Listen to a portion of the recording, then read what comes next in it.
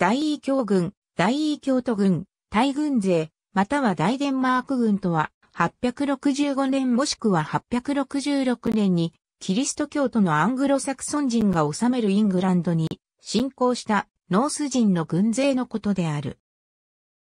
イーストアングリア王国、マーシア王国、ノーサンブリア王国を打倒し、ウェセックス王国を滅亡寸前まで追い込み、イングランドのほぼ全域を征服した。現代のデンマークに居住していた人々を中心に、スカンディナビア半島やフリースラント、西フランク王国など、ヨーロッパ各地にいたバイキングによる大連合軍であった。8世紀後半からイングランド沿岸では、バイキングの名で知られるノース人海賊が、修道院などの富の集積地への襲撃を繰り返していた。そうした襲撃とは異なり、大異教軍ははるかに大規模でイングランドの広範囲を征服することを目的としていた。アングロサクソン年代記は大異教軍の動機について触れていない。それはおそらくバイキングの襲撃と略奪があまりにも日常茶飯事だったからである。ラグナルの息子たちの物語では、大異教軍の侵攻は、スウェーデンとデンマークの支配者だった伝説的なバイキングであるラグナル・ロズブロークがイングランドで殺害されたことによる報復戦だったとしている。バイキングのサガによると、ラグナルはノーサンブリア王、エッラに捕らえられ、多数の蛇が入った穴に投げ込まれて処刑された。その知らせを聞いたラグナルの息子たちが、復讐のための遠征行を企てたのだという。しかし、これが史実であるという証拠はない。キャサリン・ホルマンは、 Historical Dictionary of the Vikings の中で、ラグナルの息子たちは歴史的人物であるが、ラグナル自身が実在したという証拠は存在しない。と結論づけている。大教軍という名は、アングロサクソン年代記の865年の項に由来する。指導者は、ラグナル・ロズブロークの息子たち、具体的には、ビトセルク、骨なしイバル、ハールブダン・ラグナルスソン、そしてウッパもしくは、鋼鉄のビョルンだったとされる。14年にわたったイングランド侵攻は、その正確な兵力は分かっていないものの、少なくとも同様の侵略の中では最大規模だったと考えられている。大教軍は最初865年にイーストアングリアに上陸し、エドマンド王に和平の見返りとして軍馬を提供させた。彼らは865年の冬をセットフォードで過ごし、866年11月にヨールビークに向け北上した。現在のヨークにあたるヨールビークは、ローマ帝国が建設したエボラクムに起源を持ち、アングロサクソン時代には、エオフォルイクと名まって貿易港として栄えていた。868年中に、大異教軍は一旦南下して、マーシア王国の奥深くまで侵攻し、ノッティンガムで越冬した。マーシア人との協定により869年から870年の間にヨールビークに引き返した大異教軍は、さらにイーストアングリアまで戻って王を殺害し、セットフォードで越冬した。871年、大異教軍はウェセックス王国に侵攻し、アルフレッド王から大巨税を得た。872年にはロンドンへ侵攻し、873年にノーサンブリアに戻った。874年にはマーシアに再進行して征服し、レプトンで冬を越した。この時点で未征服のまま生き残っているアングロサクソン勢力はウェセックスのみとなった。一時はアルフレッドを追い詰めたものの、エディントンの戦いで敗北を喫し、ウェセックス征服はならなかった。しかし和平協定で、バイキングはイングランドの大部分の征服地に留まることが認められた。バイキングのイングランド襲撃は8世紀後半から主に修道院を標的として始まった。アングロサクソン年代記は787年の項で最初のバイキングとの対決を以下のように記している。この事件は多くの歴史家から最初のイングランドに対する襲撃とみなされている。エゼリューエルド版のアングロサクソン年代記は大官は到来者たちに厳然とした態度で接したために殺されたのだと述べている。793年1月8日、北東岸のリンディスファルネの修道院がバイキングに襲撃された。アングロサクソン年代記は、バイキングを異教徒の男たちと記している。修道院や教会は小さくて高価な宝物を多く持っているためよく襲撃の対象となった。アングロサクソン年代記840年の項では、ウェセックス王エゼルウルフがチャーマウスに上陸した35隻のバイキング軍団に敗れたことが記録されている。サンベルタン年代記でも同じ事件について以下のように述べている。この挫折にもかかわらず、エゼルウルフはバイキングとの戦いである程度の成果を上げた。彼は851年にオクレーでバイキングに大勝し、アングロサクソン年代記は彼の治世中に何度も勝者たちの言葉を引用している。しかし、エゼルウルフに敗れたバイキングは、ウェセックス攻略を諦め、イーストアングリアに標的を変え、その後も860年代まで同様の攻撃を続けた。そして860年代の後半に差し掛かった時、彼らは方針を変え、大軍でのイングランド侵攻を始めたのである。このバイキングの侵略軍をアングロサクソン年代記は大異教軍と記録することになる。バイキングの軍団はフランスでの略奪でその規模を増していったと考えられる。カロリング帝国に侵攻した彼らは皇帝ルートビヒ一世やその息子たちと戦闘を繰り広げた。また、ロタール一世は逆にバイキング艦隊を味方につけて自らの戦争に利用した。この抗争が終わる頃には、バイキングは川を遡って、修道院や町を襲撃すれば大きな旨味を得られることに気づいていた。845年、バイキングはパリ攻撃を企て、その中止と引き換えに、西フランク王シャルル2世から多額の賠償金を獲得した。それから数十年の間、バイキングの船団は西フランクの川という川を我が物顔で有力し、各地を襲撃しては莫大な富を獲得していった。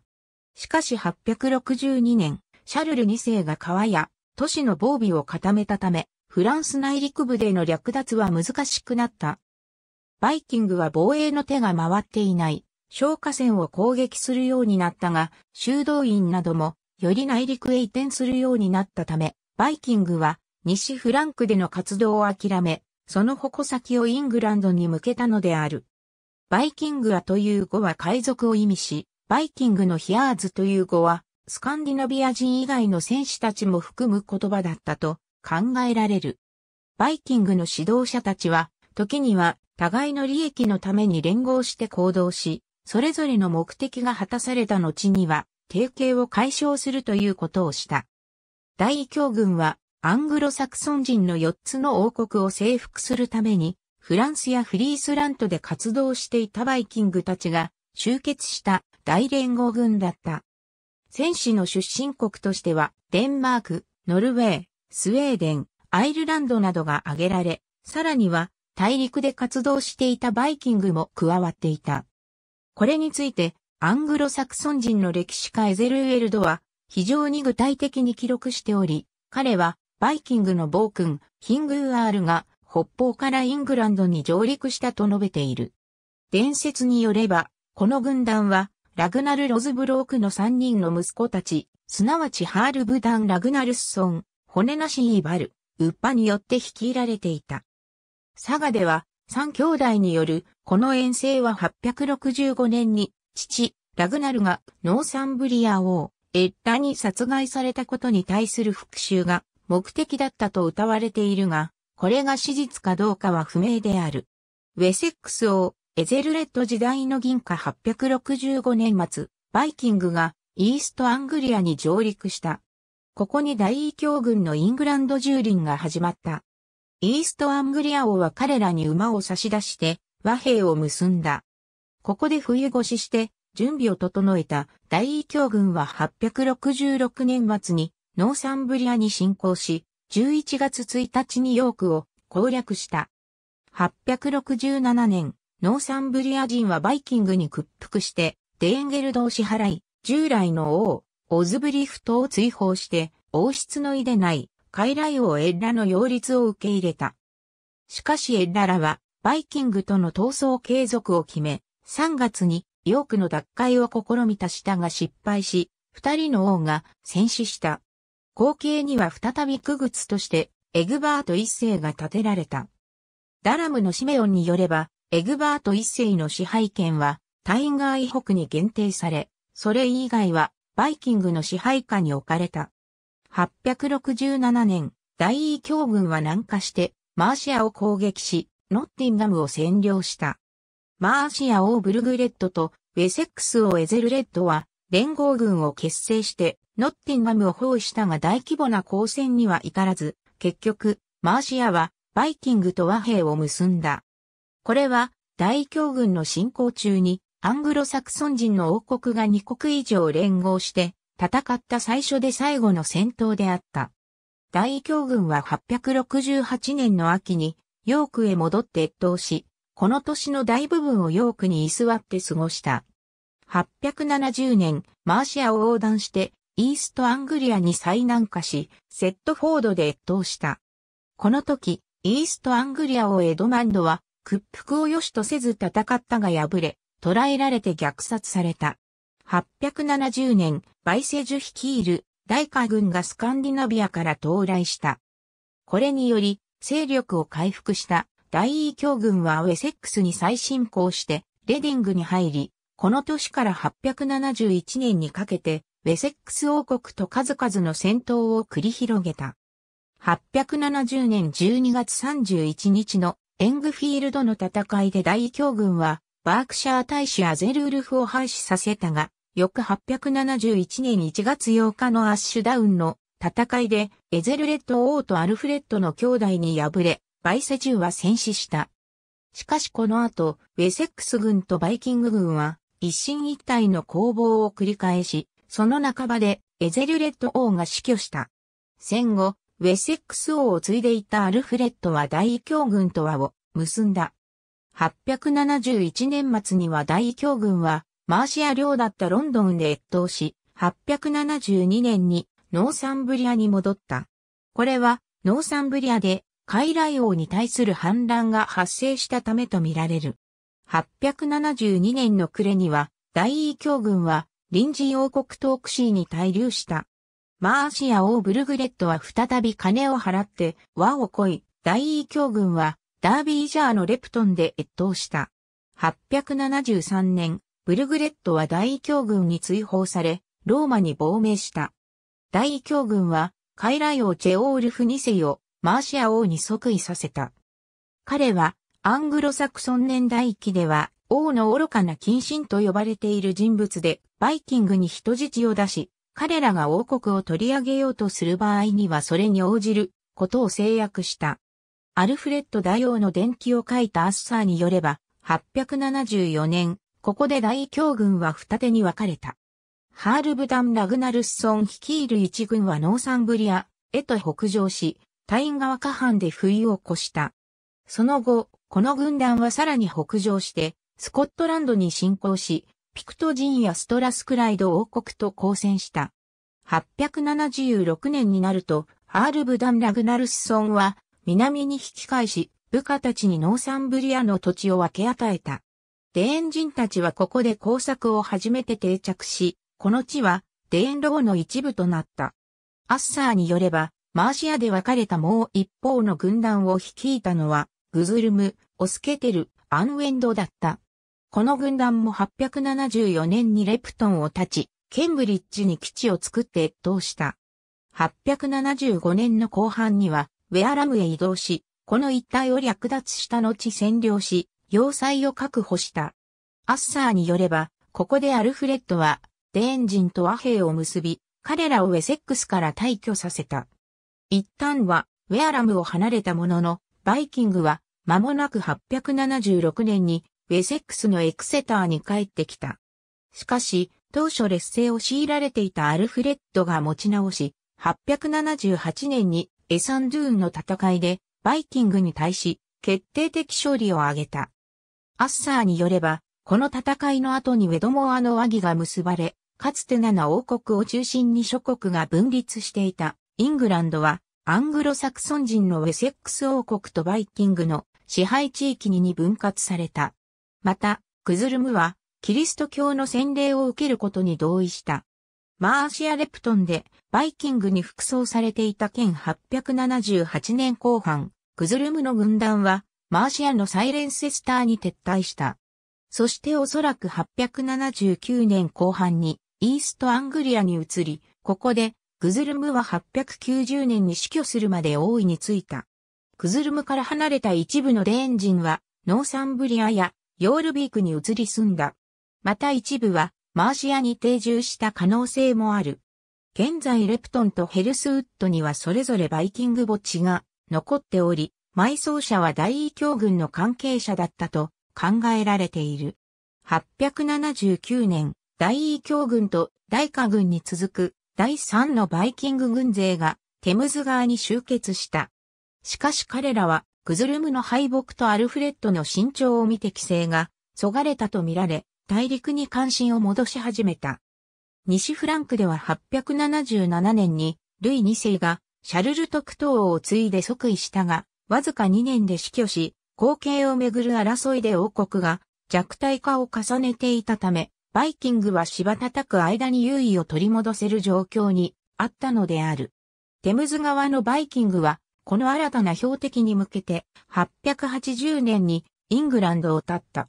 アルフレッドはバイキング戦役を教訓として次々とウェセックス防衛のための改革を打ち出していった。彼は海軍を創設し、陸軍を再編成し、都市を要塞化してブルフと呼んだ。